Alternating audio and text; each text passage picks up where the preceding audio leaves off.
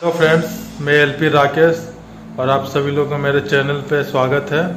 और आज मैं आप लोगों को हैप्पी न्यू ईयर विश करने के लिए वीडियो बना रहा हूँ। मेरा बहुत ज़्यादा बिज़ी शेड्यूल हो गया है, क्योंकि हम लोगों की वर्किंग जल्दी जल्दी कॉल हो रही है। ज़्यादा मतलब वर्किंग हो रही है। प्रोग्रेसिव आवर में थोड़ा जल्दी कॉल होने लगती है। सोलह घंटे में कॉल हो जाती है। इसलिए मैं वीडियो नहीं बना पा रहा हूँ।